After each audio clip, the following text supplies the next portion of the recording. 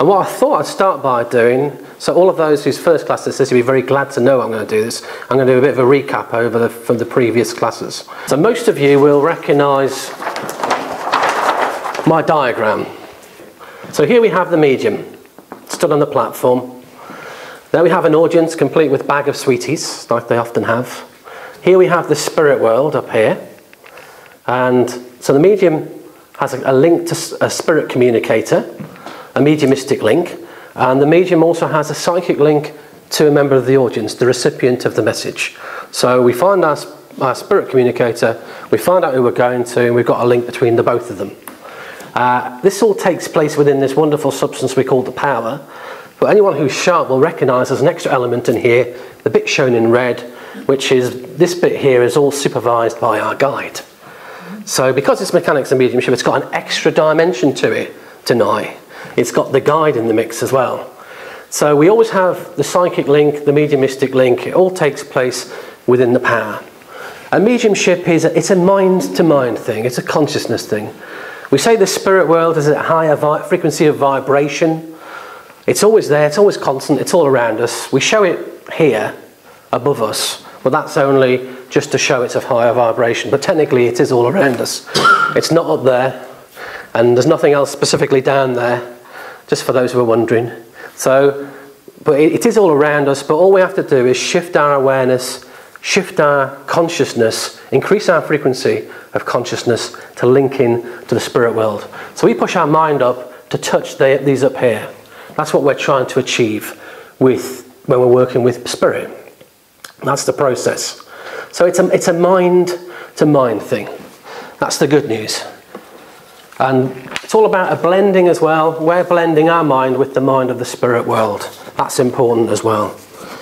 So we then get information from spirit, we then relay it to our audience. Hopefully, our audience say, Yes, I can take it, and we're all right. So that's basically what's happening in the process. And if we go back to the very first class we did, so going back to the very first class we did, if we look at the flow from spirit, uh, the flow comes down from spirit through our superconscious mind, which is our higher self. And from spirit, it could either be a communicator or a guide, it doesn't matter.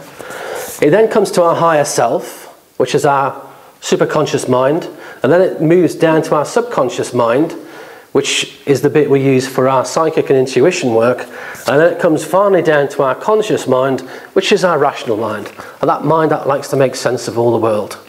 And as I mentioned in my very first class, Men tend to focus more at this level here than women do. Women are much more psychic and intuitive as a general rule. Men tend to focus more in the rational mind. The subconscious mind is that mind that is able to multitask as well, and because women can access it a lot more, say no more. That explains why men struggle to multitask. And of course, mediumship is all about multitasking. We have to hold a link with spirit whilst talk to our audience at the same time and maintain both. So mediumship is all about multitasking. So I'm not going to go any further about the male-female aspect of it. so the key thing is, is if your mind ever comes back to analysing, trying to work out what's going on, trying to think about things, you come back down here. So you're trying to expand your consciousness to move up through the different levels to touch spirit. But as soon as you start thinking about it, straight back down to here. So we don't want to really be using our conscious mind during the process if we can avoid it which again is easier said than done because you do need to monitor what's coming through. And which part of your mind will monitor what's coming through? The conscious mind, the rational mind. So that bit has to almost just stay in a watching mode, but a non interference mode. So it needs to know what's coming through, but predominantly we need to be working with our subconscious and allowing this to take a back seat and to stay. How do you do that? With practice. you, yeah, you just learn to do it. But if you let this bit come in saying, oh, well, that's interesting, what's going on here then? Then this bit takes over from the subconscious mind and you tend to lose the link. So we need to make sure we don't do that. That's quite important. So we can imagine uh, the spirit world as a bunch of people at higher vibration, higher frequency, a higher wavelength, if you like, than we are. So if you imagine this is the earth world. This is increasing frequency up here. This is where we work with normally. This is the earth world. This is the spirit world at a much higher frequency. and there's a gap between it. So we shift our awareness. We're already working in here normally, but then we need to move our awareness up to become aware of the spirit world and aware of those individual consciousnesses within the spirit world. So, we're in, so we need to move from here to there. Now, because we can link it to similar to radio waves as well, we can say that each medium has their own wavelength across which they work. Some of you may have short wave, long wave, medium wave, VHF, police channel. Uh, so some of you may have a huge range of frequencies across which you work. Other people may have a more limited range of frequencies. And when you first start, it's how far you can push yourself up here. So when you first start, you won't get as far probably as someone who's experienced. But even when you are highly experienced, some may be able to get here, others here. All, everyone would be able to get to a different level. Does that all make sense? Say, say I had an individual communicator right at the top of here. Only certain people who could actually get their energy up to that frequency would be able to communicate with them, to be able to form a link and blend with them. And if you could just get below it but not quite to it, what happens when you don't quite tune a radio in properly? So you get static, you get a bit of interference, you might get another station coming in on it, giving you more information that you don't want. It's not quite right. Sometimes you can hear it clearly, and then it goes out again, and then sometimes it comes back in again. And it'd just be the same with your mediumship, really. You can't hold that link with the spirit as well as you would otherwise be able to do so. So that, so I quite like the radio analogy.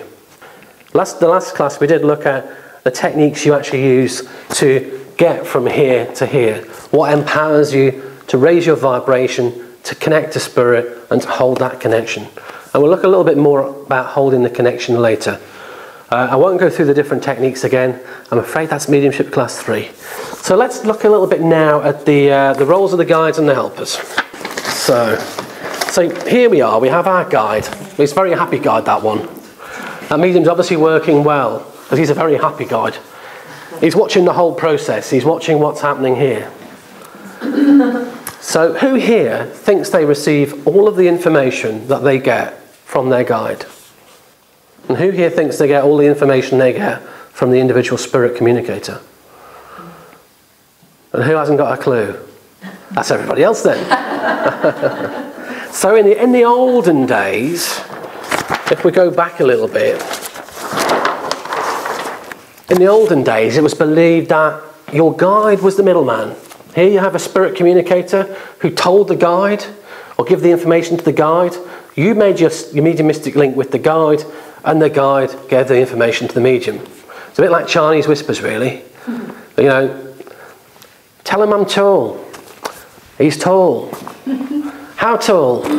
How tall? Mm. So you've got this middleman, and that's your guide. Whereas very few media, some people still teach this, believe it or not. A few people still do teach that method. So for me, this is our more modern view of what's taking place. The medium connects directly to the spirit communicator. And the guide, he's there with an overseeing role. You can send your thoughts out to the guide, and the guide can send thoughts out to the spirit communicator, and vice versa. But the guide is effectively at the mix, to the side, allowing you to get on with it. And if there's a problem, the guide will interfere, but only if there's a problem. Otherwise, but you've got to ask the guide to interfere. The guide won't interfere without it. You've got to send your thoughts out. What's, go- what's going on? What's going on? I can't make this work. And the guide stand there saying, You're with the wrong person, you plank. But you're not confirming your evidence. You just, you just let them say yes to you. So anyway, so your guide's there, probably tearing his hair out. Have you ever noticed why most guides seem to be Buddhist monks and seem to be bald? I don't think they're Buddhist monks at all. I just think they've had their hair torn out from trying to work with us lot. So, you know, it's... Um, so, yes, yeah, so this is where we believe it is now. We believe that we are linking as mediums to the spirit communicator and that the guide is not the intermediary. The guide is there to the side. And I also believe the guide knows how we work, or at least they should do.